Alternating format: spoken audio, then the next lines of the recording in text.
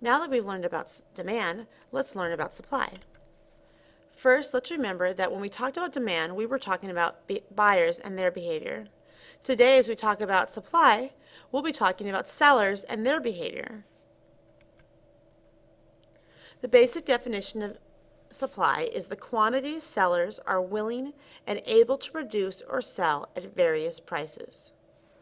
This indicates that sellers are going to make different amounts of their product depending on what they can charge for that product.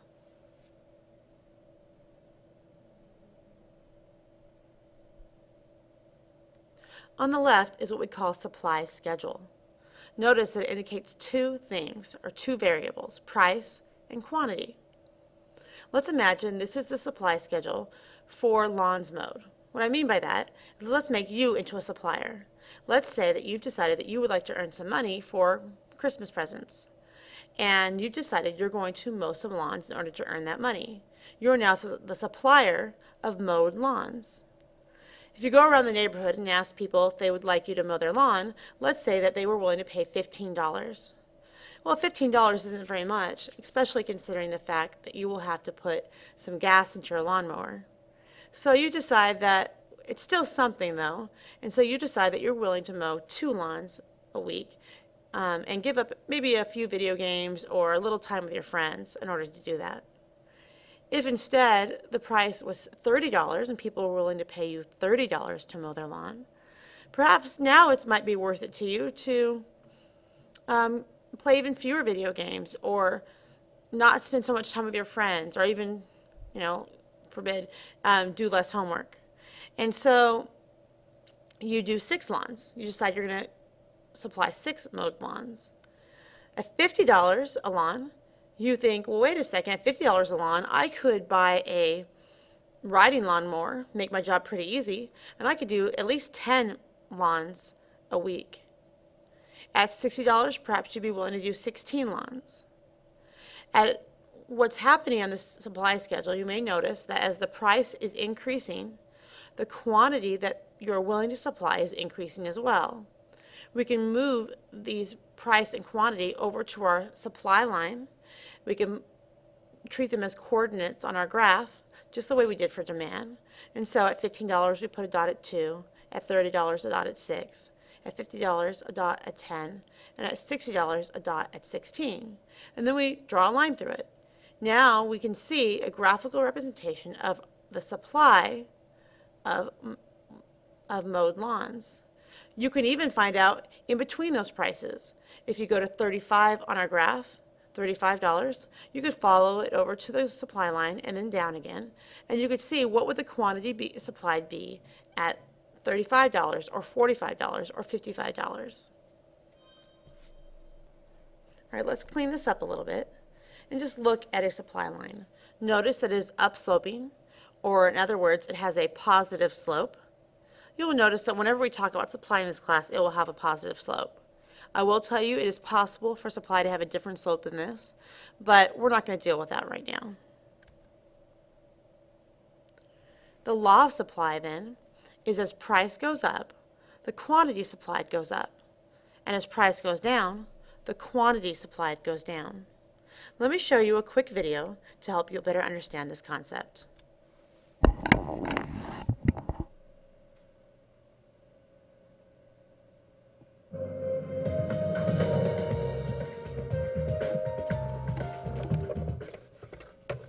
Good evening and welcome to a special hour of 2020.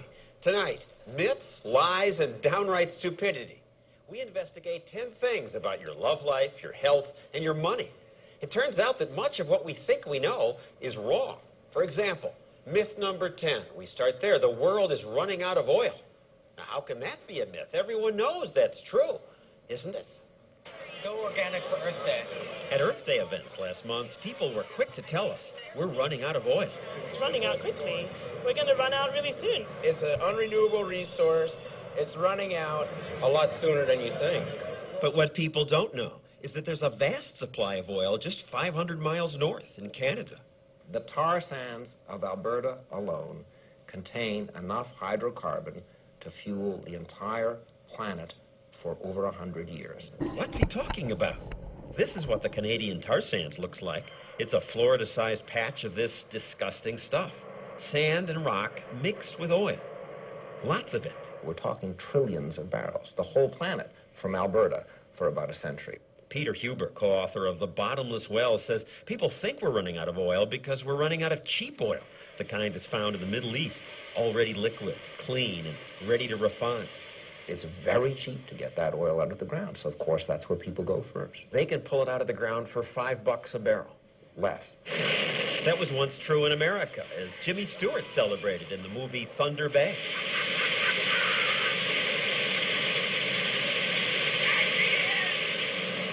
It costs three times as much to get oil out of these tar sands because they have to add hot water to the sand to separate the oil.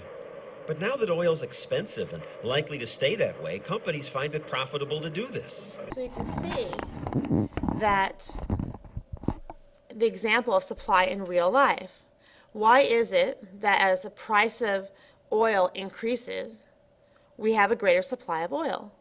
Well, at a greater prices, some of these tar pits, I think they called it um, in Alberta, are now, it's now profitable to extract the oil from that. At lower prices, it's not profitable to do that. They're going to get the easy oil. And so at lower prices, we're going to have less supply, and at higher prices, we're going to have a greater quantity supplied. Just like demand, we have two possible changes when we talk about supply.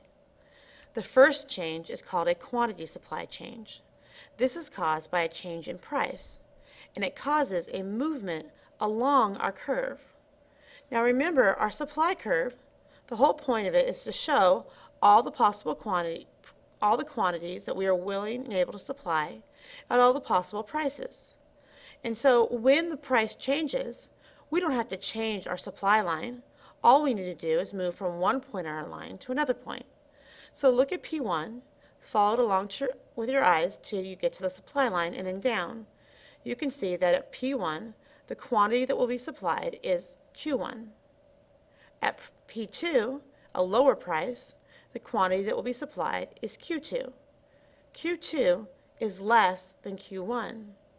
As price has decreased, the quantity supplied has decreased. Now notice I have not said that the supply has decreased because the supply represents all the quantities at all the prices and that has certainly not changed. Our supply line has remained the same. The second kind of change we can do is a supply change. This refers to a change in anything else that changes the amount sellers are willing to supply.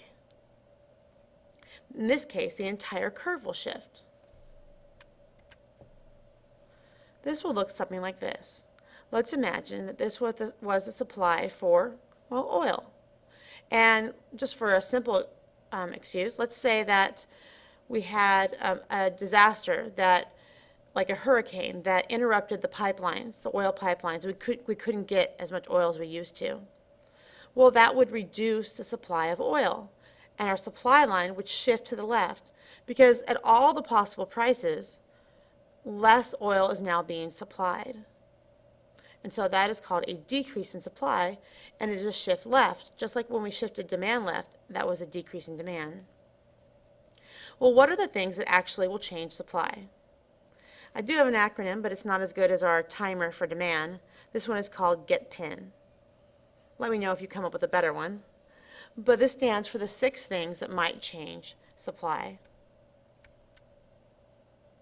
The first one is government regulations.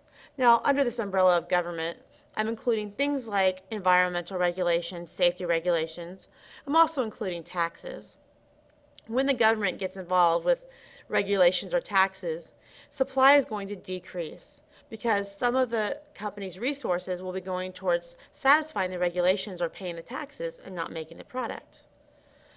Um, as an opposite reaction, governments can also provide subsidies, and this is when the government um, grants money to a person or group to support them in producing something that they think will be in the public interest. So if the government pays you so much to plant corn, you're probably going to plant more corn, and that will increase the supply. Expectations. Businesses have expectations just like people do. Right now, they may be thinking about the Christmas that's coming up and deciding what they expect the economy to be like at that point. And so that may determine how much they choose to supply of their product. Technology. Technology um, allows businesses to be more efficient and to create more of their product cheaper. And so additions of new technology will usually increase the supply of a product. Prices of other goods that could be produced, or alternative outputs.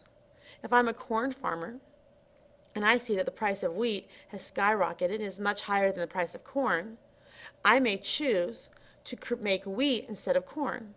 And so the supply of corn will decrease, not because the price of corn has changed, but because the price of wheat has changed. Input cost. The cost of making my product definitely determines how much I will want a supply of it. If my inputs, meaning my resources, increase in price, then the supply is going to decrease.